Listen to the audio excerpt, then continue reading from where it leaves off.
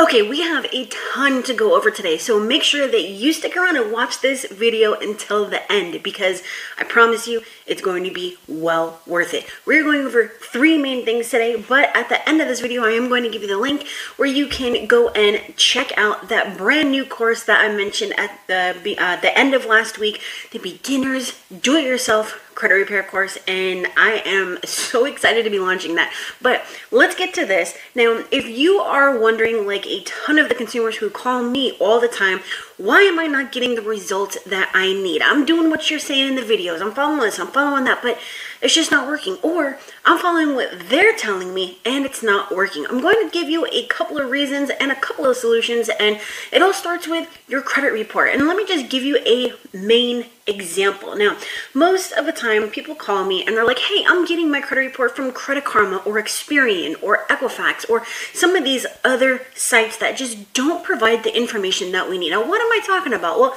if you just look at Experian versus Smart Credit, and you can find my links and caveat, they are affiliate links down in the description, but Smart Credit and Identity IQ are the only two sites outside of my Score IQ, which is genetically the same as Identity IQ but those are the only two sites that I would recommend that you go and get your credit report, not from free annual credit report or annualcreditreport.com. Very simply because number one, you're not looking at consistent information report to report next to each other. And number two, because, hey, guess what? When you go and you get your credit report from there, you're giving the credit bureaus more time to process your dispute, okay? So if you are trying to get this thing kind of over anytime soon, you know, you just gave them more time because they get an additional 15 days instead of 30, so now it's 45, just because you went and you got your credit report from there. So outside of that, let's go and look at this. So Experian versus Smart Credit. Now we're only looking at four main factors, okay? Notice of dispute, date last reported, date last active, and date last paid. Now, if you've been following me for the nine years that I've been here on YouTube, you'll know that those are way at the top of the hierarchy. Those are the big guns, those are the high impact dispute elements, and we need to use them. But wait a second. Experian doesn't seem to have them. Sometimes they enter the notice of dispute in the comments, sometimes, but it is not all the time when it should actually be there and it is not and you're most of the time not looking at report to report next to each other um, so what's the benefit in using something if it's not providing us the information that we need well that's what I'm asking you, okay? If you want to see consistent information, just check out my playlist on client wins. You know, where I show you, you know, credit reports at where I've gotten them in 60 days, 30 days, 90 days, anywhere between 100 to 350 points on their credit score. Well, all those reports come from Identity IQ and Smart Credit. So I'm not trying to sell you anything. I'm trying to just kind of educate you on on the fact that the very number one reason that most people don't get results is because you are not using the right information. The number two reason is you don't know how to use that information, right? You need to know number one what you're looking at, how to analyze it, how to identify inaccuracies and violations, and then what to do with them. How do I write that letter? How do I utilize these things that I found, right? Because you can have the date last active, but if you don't know what you're talking about, then it doesn't matter. What about the notice of dispute? What about the first day of delinquency? What about the date last reporting? Okay, if you don't know how to use these things, then you're kind of putting yourself in another position to just get verified. And we're going to also talk about what to do when, you know, they come back and say, hey, this has been verified. And you and I both know there's no investigation. So that was number one. Go and get your credit report in the right place. And again, down in the description, you'll find both links. Smart Credit is $29.99 per month. That is the one that I recommend. It shows more payment history, and with factual disputes, more information can mean faster results. Number two, Identity IQ. My link will save you $8 per month. That's $100 annually. Why wouldn't you? If you already need it, why are you going to pay full price. And if you already have it but are paying more than $21.99 per month, then call them, cancel, and then use my link to go and sign up. Even if you don't want to talk about whether I can do a credit sweep for you, all that kind of stuff, that's cool. Get your credit report from the right place because you are the only one who is either going to benefit from it or not. Okay. Now, the second thing, let's talk about disputes. All right. Now you know where to pull your credit report. But what about those letters? You see, everybody out there on YouTube University wants you to believe that there's some 60 day process, some 30 day process, some 14 day process. Well, we could talk about that all day, but my main thing here is um, 14 days? Really? You really screwed your credit report up. And you know there's no judgment here. That we're just talking facts right? You spent all those years screwing up your credit just to go to youtube university right? Because everyone's a professor here. And you found that instant cure. We're talking about two weeks to fix years right? And we're only talking about your credit right? Credit is the one thing outside of your finances but it also influences your finances. And you know that right? Where are you working? Well couldn't you be working somewhere else if you had a better credit score? I would have to say yes. You and I both know that you could go out and get something else, but your credit is the one thing holding you back. It determines where you live, where you work, how much money you make, what you drive, how much you pay for your homeowner's insurance, how much you pay for your renter's insurance, whether you had to pay 21,000 down on your house or 65,000 or even 90,000, whether you had to pay 5%, 10%, 20%, whether you're paying 3% or 7% on your mortgage. It determines everything, even your car insurance rate. So why wouldn't you ensure that you are getting the lowest rates. And we do that by having the highest scores and the best credit. And we do that by sending out the right disputes and having a realistic expectation on how long this process is going to take. And anybody who knows anything about systems know that hello that word system right there it's going to take time if you just think about the justice system for a second right any good lawyer is going to go in, you know, you got in trouble for something, doesn't matter what, but you hire an attorney and any good lawyer is going to go in and the very first thing that they're going to do is go and push it out, get an adjournment, right? And even the highest paid attorney cannot guarantee you that they're going to get you some sort of specific outcome, right? Because they don't control the judge or um, a jury or the prosecutor or even anybody for that matter but they can take the facts, right?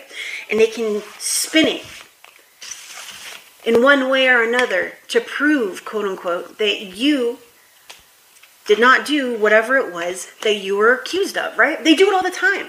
That's exactly what we're doing with factual based disputes, right? Because we're going to talk about this in a video a little bit a little bit later this week, possibly tonight or tomorrow. But um, you have to understand that we have these laws, right? And we're going to talk about that in a second too. But we have these laws, and you have to know how to utilize these laws. You can't just say, "Well, pursuant to this, you're required to do that," and so because you didn't, now you have. No, we need to know how to force the bureaus and the creditors and the collectors to do certain things based on the laws that we are dealing with. And there's a very specific way to go about it because if it were as simple as just saying, hey, you did XYZ, and because this law exists, now you instantly have to remove this from the credit report. Why did it go on there to begin with? Why did they violate if they knew that all you had to do was say X or Y or Z? They wouldn't have, right? This is not a simple process. And if you go into this believing these lies and the, you know these sales gimmicks about oh this is so easy, then all you're doing is digging yourself a hole and you are trapping yourself. And each and every single time you go and you try to find these loopholes and all that kind of stuff, you're just putting yourself further and further behind and you're going to end up boxing yourself in, okay? Maybe you have no idea who I am. Maybe this is the first video that you're seeing. Maybe you don't know that I've been doing this for nine years here alone on YouTube out of the 12 years in total that I've been doing this with my 1200 videos, right? Or maybe you do know that, but you don't know that I had multiple jobs where I only brought home $100 per week because my credit held me back from getting the jobs that I wanted, getting the career that I wanted, which obviously led me here to you, right? Maybe you don't know that as part of my husband and I, you know, sacrificing to get $45,000 in three years, that prior to moving upstate, we lived in a closet sized apartment. I'm pretty sure it was um, a closet, and it wasn't an apartment, sorry, it was a room, closet sized room in an apartment where there was a bunch of other people who lived there, where we were only the only ones who had a key to even getting in and out of that place. A couple of blocks away from the Stapleton projects in Staten Island. Or how about the room that we rented from um, this nice chick who happened to walk around shirtless a lot because my husband was there. Um, but anyways, that was another room that we rented inside of an apartment inside of the projects, a couple of blocks away from the water. Um, or how about all those jobs, like I was saying, where I only brought home about a hundred dollars per week. One of them I worked 37 hours and brought home uh, about $141 in a week. Or how about when I worked for a life insurance company, making calls trying to get people to come in for interviews, thinking that they're coming in for sales sales thinking that they're coming in for an administrative job just to find out that the interview was for a sales position for life insurance. My family got tired of hearing, Olimaki, Olimaki, Olimaki. I've been there. I've been there. I know it. I went through it. And would you rather learn and listen from someone who has been there and made it? Right? Because I'm not making this video from my mom and dad's basement or from a room inside their house. This is my house. This is our house. It is 2,600 square feet. We have a corner house, a huge yard, and you know what? It is ours. It's ours that we got a great interest rate on because we have great credit, right?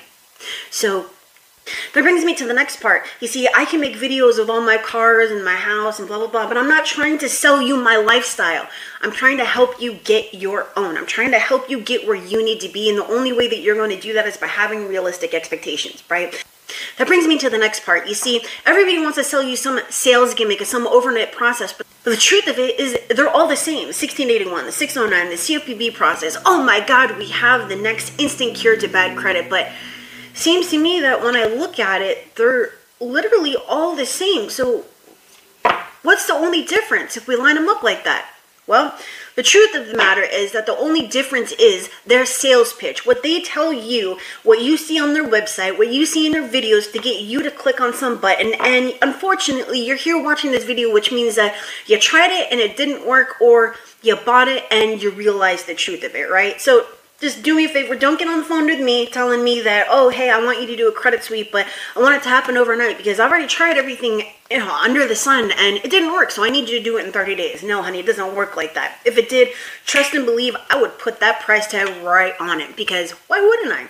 Why wouldn't I? There's 68 million people who need the same thing that you need, the same thing that I went through, so why wouldn't I put that price tag on it? It's because it doesn't exist. But what does exist is a solution.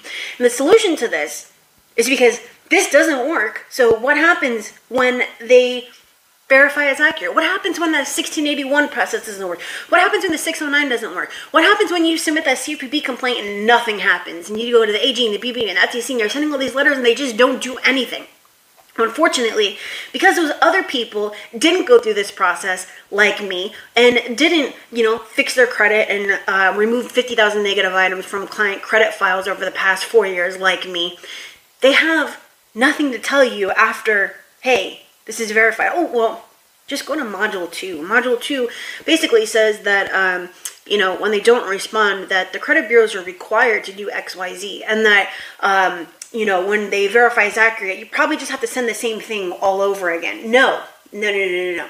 But with factual disputes, you see, I do tell you exactly what you need to do if they verify as accurate. I have a whole workshop on it. I have letters on it. I show you exactly how to attack these violations, okay? So would you rather go through this process where they're telling you a bunch of lies about how this is going to work overnight just to find out that it doesn't? Or would you rather go through a process where I tell you, don't bother with this because it's not going to work? But what does work is using their own information against them because it's irrefutable facts. And if they verify as accurate, then now what part is really, really simple. Evolution line, dispute funnel, and violation attack. And I show you exactly how to do that in my brand new beginners course. And even if you don't check out the new beginners course, which can be accessed pre-order, okay, if you want to get a discount, send me to dot .co forward slash toolkit. But, and that is um, a discount that you can access until the release of my course this Saturday, the 15th, okay? But even if you don't want to access that, I have 1200 videos that show you exactly how to do this process correctly. All you got to do is take the time to go through it. But if you don't want to, there's two other things. There's many, many things, but right now we'll talk about two. Number one, you can see if I can personally do a credit sweep for you. Or number two, you can go check out this do-it-yourself credit repair course for beginners, okay? So, I mean, hey, you can go through this alone, or you can go through this with someone who has been through it, who got the results and has the lifestyle that they're looking for, that they looked for, right? That would be me. So, choice is yours. It's completely and totally up to you, but what I will tell you is that there is no 14 day process, there's no 30 day process. There's no 60 day process, there's no 90 day process. You can get results in that time, but you're not going to clean up your entire credit file. And I'm not here to rain on your parade, I am here to help you. And the only way I'm going to help you is by helping you to get realistic expectations and then provide a solution for you. And that's exactly what this is. All right, so I hope you have a wonderful day. I hope you have a wonderful week. And as part of my birthday celebration, which is the 16th, again, that course has a pre ordered discount. So Delivery is on April 15th, which is going to be when it is full price. And until then, today through um, Friday evening, you can go and save uh, 45%. All right. So that's it. I hope you have a wonderful week, and I will see you later.